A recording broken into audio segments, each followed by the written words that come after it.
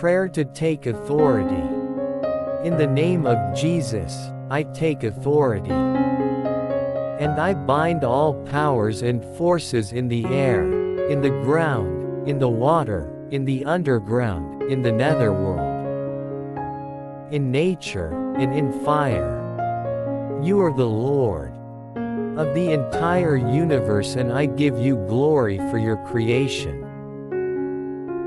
In your name, I bind all the demonic forces that have come against us and our families and I seal all of us in the protection of your precious blood that was shed for us on the cross. Mary, our Mother, we seek your protection and intercession with the Sacred Heart of Jesus for us and our families.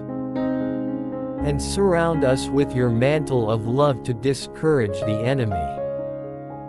Saint Michael and our guardian angels, come defend us and our families in the battle against all the evil ones that roam the earth.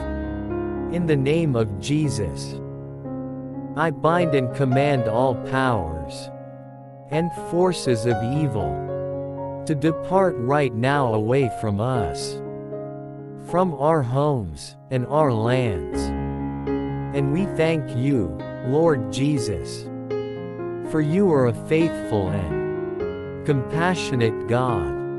Amen.